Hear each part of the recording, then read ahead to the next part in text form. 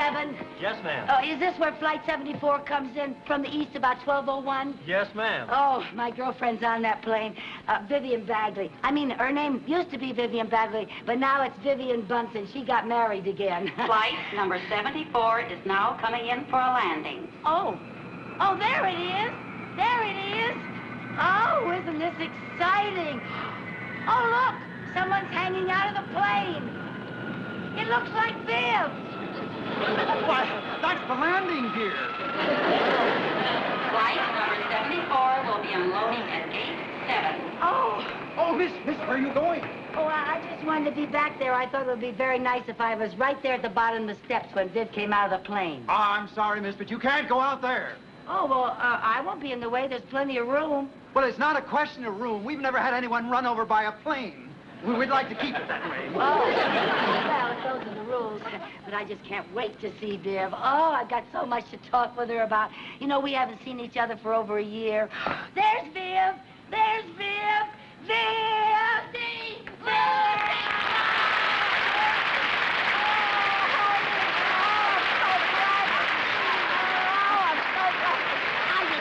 I wish I was.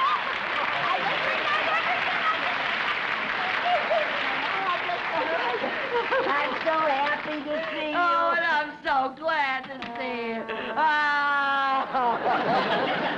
I don't know how I stayed away. Have you had breakfast? Oh, no. I just had lunch. Oh, I forgot the difference in time. Oh, I love it. Now that I'm in California, I'm three hours younger. Oh, and you look it. And you just look absolutely wonderful. Thank and you. And you're working for Mr. Mooney. How about that? How is he? Same as ever. Oh, I'm sorry to hear it. I thought California would agree with him. oh, I'm dying to hear about your husband. oh, and am I dying to tell you about him? What does he look like? Well, oh, well, he's handsome. Yeah. He's tall, and he's got dark hair, and he has blue eyes. You're kidding. No. Oh, my gosh. Oh, Oh, he's that's so marvelous. strong, and he has a lot of character. Just hates those marriages where the wife tries to run things, doesn't want the woman running things at all. Oh, he's the boss, huh? No, I am, but he hates it. Ah. Same old Viv, that's what you are. Here, let me carry this for you. Gee, oh, boy, that's heavy. What do you got in here? I bought you a present. What? A big bag of oranges.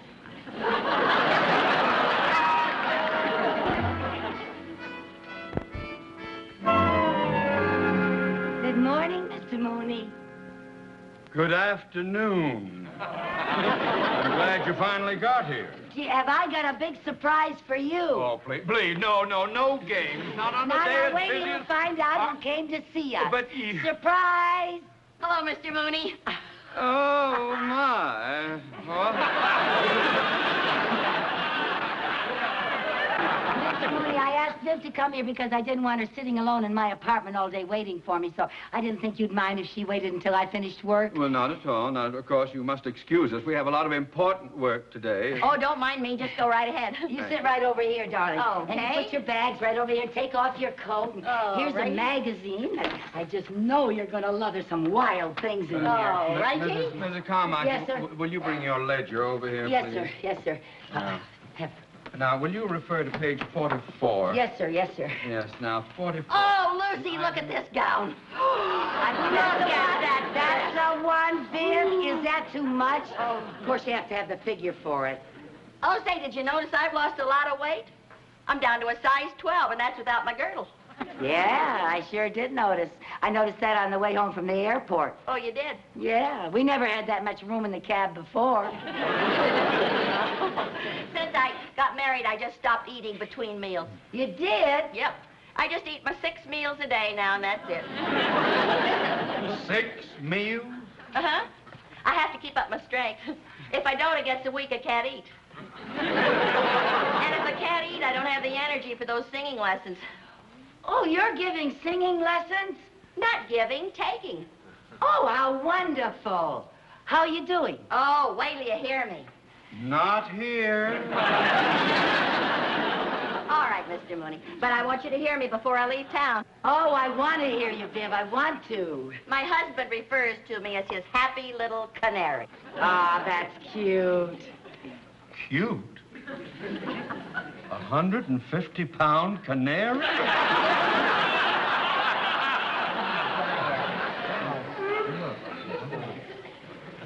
Oh, Viv, would you like a cup of coffee? Oh, I'd love to have a cup of coffee. You don't mind, do you, Mr. Mooney? Oh, it'll be just like old times having a cup of coffee with you. Oh, and I got so much to ask you. Oh, and I've got so much to tell you. Have you? Mm-hmm. Before I left home, I went to the beauty parlor and I picked up all the local gossip. Oh, wonderful. Anybody wants me, I'll be out in my car.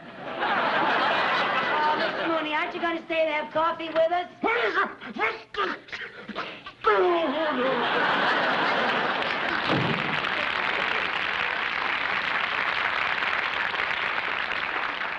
You're right. He hasn't changed a bit. He sure hasn't. And I'm so glad he's gone. Now we can gossip all we want to. Tell me about everybody. Well, now let's see. When I was in the beauty parlor, I heard something about Helen and Joe Walton's son. You mean little Herbie Walton? Yeah, you remember him? Certainly. I was at his high school graduation. Well, he came out here to go to college. Yeah. And I heard, Yeah, what? What, what did you hear? I heard that all he does is hang around that Sunset Strip. Yeah. Well, they said he's, uh, oh, he just got so he looks very unusual. Like what? Well, he's got hair down to his shoulders, and he's got a guitar hanging around his neck, and he wears a watch in his ear for an earring. Well, never mind that. Tell me why he looks unusual. I just told you. He's got hair down to here, and he wears a watch in his ear like an earring. well, on the Sunset Strip, everybody looks like that. Well, maybe you folks out here in California are used to things like that, but oh boy, if his mother ever hears what happened to him. Do you mean Helen doesn't know? No, she doesn't go to my beauty parlor. Well, maybe we better get up on that Sunset Strip and straighten out little Herbie before his folks hear about him. Oh, now, Lucy, there's nothing we can do. What do you mean there's nothing we can do? We can try to talk to him. Oh, his generation lives in a kooky little world all their own. They don't want to talk to us. Well, maybe he would talk to us if he sees us up there on the Sunset Strip and he thinks that, that we're there, we're his own kind. Now, Lucy, we're outsiders. He wouldn't talk to us. Besides, I didn't come here to butt into anybody's business. I came here to see the sights.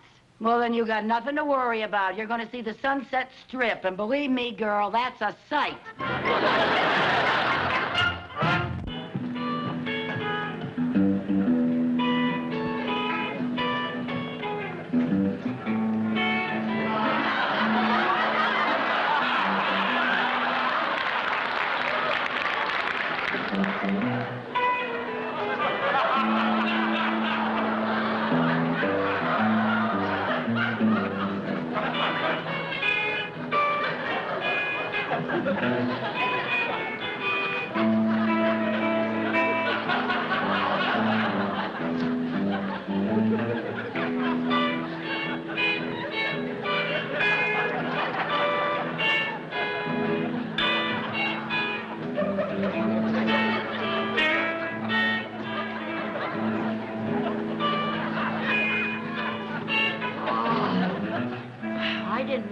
they'd be this far out. Oh, Boy.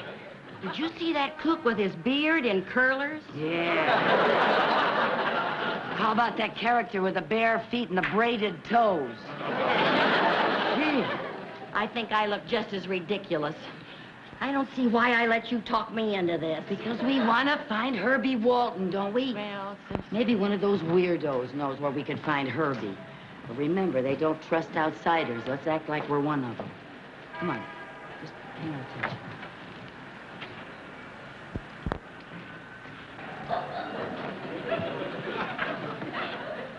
Hi. Hi. Hi. Hi. What's your name? Hi. Hi, what's your name? Hi. Oh, hi, hi, I'm Vi. I'm loose. Luce? That's short for Lucy. First time you two chicks making a scene? Uh, yeah, yeah. You belong to some cycle outfit? Yeah, yeah. Which one, the Cobras or the Sharks? The Bloomer Girls. The Bloomer Girls? I never heard of them. It's an undercover outfit. Well, what are you doing up here? We're looking for a guy named Herbie Walton. Yeah.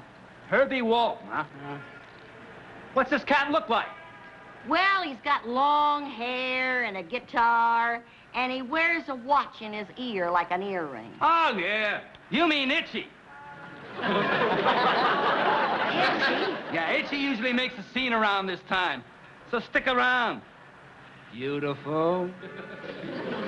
Thank you. He was talking to me.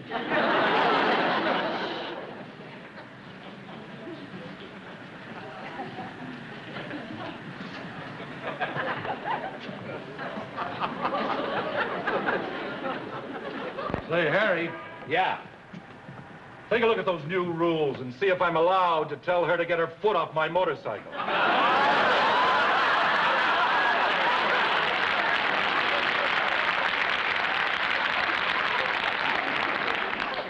It says here it's okay if you take your hat off first.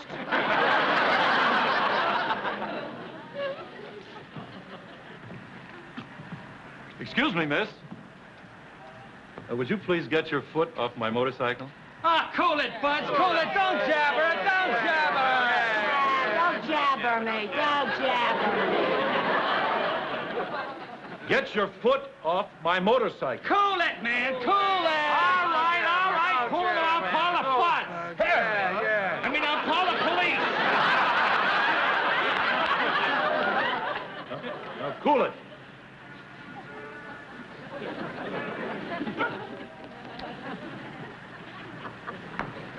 Don't blow your stack, pussycat. Don't blow your stack. Oh, Lucy, I'm gonna get out of here. I want to go home. No, no, wait a minute, wait a minute. We want to find Herbie Walton, don't we? Well, I don't know. Look, look.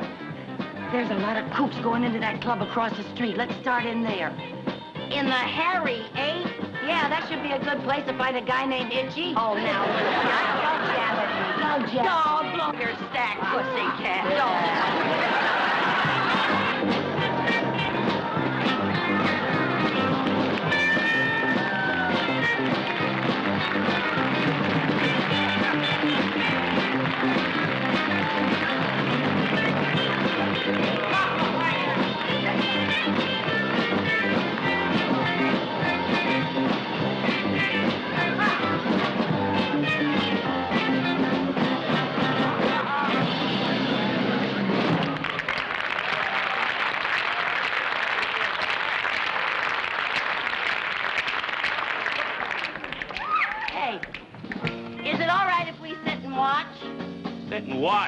Some kind of squares?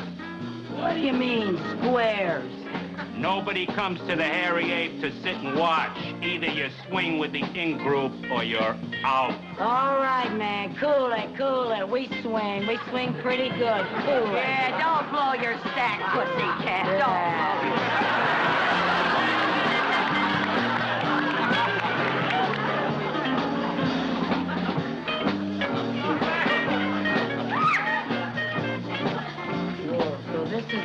group, huh? If anybody back home saw me in this can of worms, they'd kick me out of the garden. Just remember, we gotta act in or we'll be thrown out. Will it be? What do you have? Uh, can we have a menu? We don't have menus. If you don't see it on the tablecloth, we ain't got it. Uh, we'll just have some coffee. Okay? Two muddy splashes.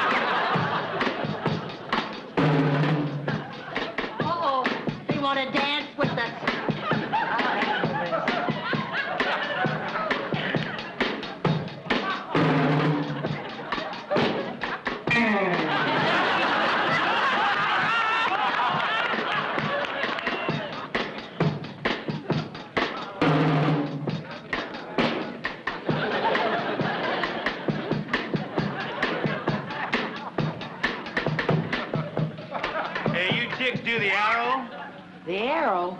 Yeah.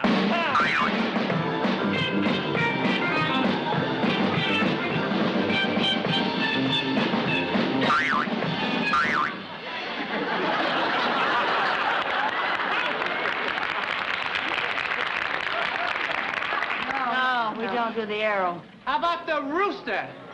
The rooster?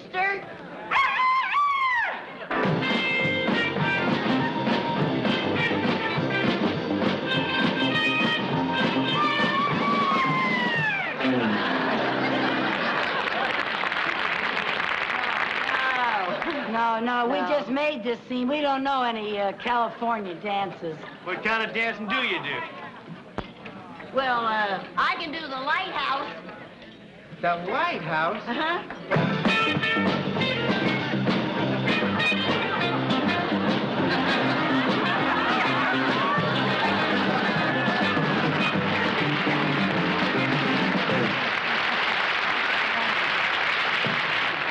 Hey, that's good. What do you do? Uh, uh, I, I, I can do the chipmunk. The chipmunk. Yeah.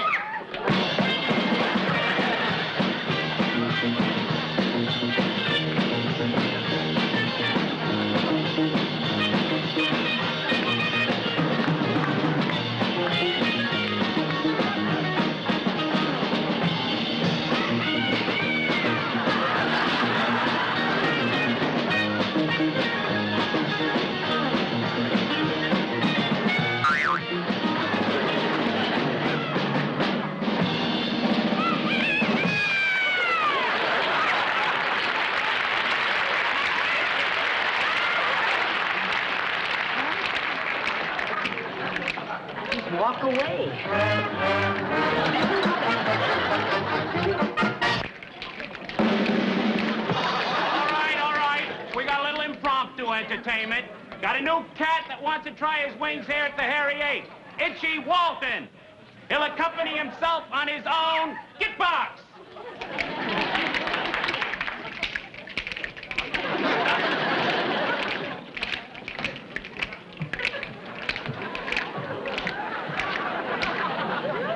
Isn't that awful? Look at that hair. And his father, a barber. No wonder he's itchy. I'm going to sing my own composition, Lament to a Small Town. I come from a small town with grass roots, blue serge suits, and turkey shoots. It's Squaresville, man, like New Moon Hay, or Groundhog's Day, or Friday night at the PTA. Yeah, the dialogue's dull as dull can be. They say things like, long time no see, or howdy, neighbor, golly gee. Yeah, or a village fool, when he blows his cool, will come on with a, by Jiminy. Well, I split these scenes before my teens. Had to take my leave on Christmas Eve because I sealed Santa up in the chimney. Yeah. I could hear him shout that he wanted out as I grabbed his sleigh for my getaway. On hipster, on swinger, on playboy, on bunny. Let's get to the city and go for the money. Merry Christmas. Isn't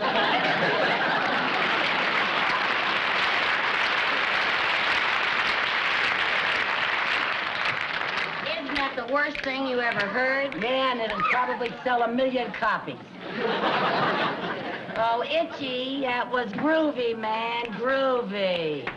Yeah, we did you, Cat. We'd like to buy you a splash. Yeah, sit down, have a splash with us, Itchy. Yeah, groovy, groovy. You, uh, you really come from a small town, Itch? Oh, you better believe it. A place called Danfield.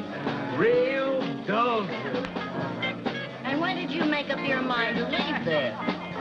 Well, a while ago. And I came out here with all these cats and I dug all this swinging action. Don't you miss your parents or ever think about them? Well, you know, they're okay, but that mom and dad scene is really a drag. Yeah, that's a. Well, not that they should be stamped out or anything, you know, but that Maggie and Jiggs action is pretty hard to take. Maggie and Jig. Herbie Walton, you ought to be ashamed of yourself talking about your parents like that. Herbie Walton? Yes. How do you know me? I'm Mrs. Bunsen. Mrs. Bunsen from Danfield? Yes, and this is Mrs. Carmichael. Maybe you remember her. She used to live there. In Dullville. Well, yeah, sure, but what are you two doing here? Like this? We're trying to find you, Itchy, and bring you to your senses. Oh, well, now, Mrs. Carmichael, I was just putting you on. What do you mean by that? Well, I thought you were like all the rest of these characters, and I didn't want anybody to get wise to me. Get wise to you? Wise to you about what? The hair and all this jazz. You don't really think I turned out to be one of these kooks. Well, then what are you doing here like that? I'm just getting some material that I need for a thesis. A thesis? Yes, for my psychology class. Oh, for heaven's sake. Oh, believe me, I can't wait to take this wig off. Oh, it's a wig. Oh, well, are we glad to hear that? Listen, will you do me a favor? Sure, what? Uh, what time is it? 10.30. My gosh, I gotta be cutting out. What? I mean getting back to the dorm. But it Oh, was the dormitory. Nice to see you. Oh, I'm so glad we found you, Herbie. Good luck with your thesis. Oh, Yeah. thank you, thank you. Oh, uh, when I write Mom and Dad, I'll tell them I saw you. Oh. But uh, I won't tell them how you look. Oh. well, now, aren't you glad we came? Everything turned out just fine. Yeah, for once, one of your crazy schemes didn't backfire. Come on, let's get out of here. Yeah. Now we'll continue with our impromptu entertainers. Hey, Red! Do either of you chicks chirp? Uh, yeah, my friend does. What friend does what? You. I want you to chirp. Sing. Sing a Oh, song. I couldn't sing here, Sure Lucy. you can. I don't want to sing here, You said that you wanted me to hear you sing. Well, Now, I was come thinking of the Hollywood Bowl or something. No, I, couldn't sing. I gotta have somebody accompany me. Well, I'm just dying to get my hands on this git box. now, what are you going to sing? My best song. Well, what's that? I dream of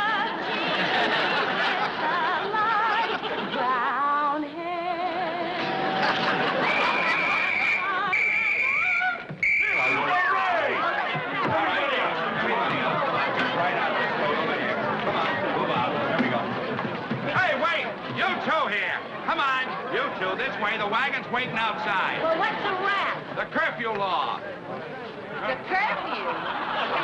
Now, you kids know the rules. Everybody under 18 has to be in by 10 o'clock. Under 18. Oh, now listen, officer. Uh, I got Vivian, no- Vivian, let's not argue with a nice officer. I hope Mumsy and Daddy aren't too upset by this.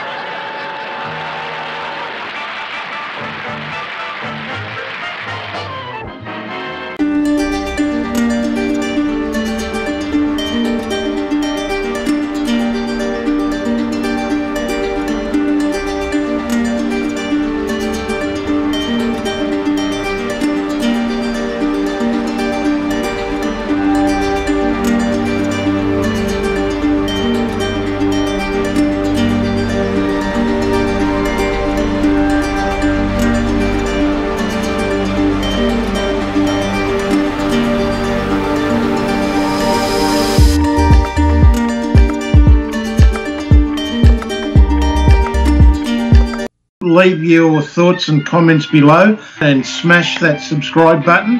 Helps the channel and click that like button. See you all soon.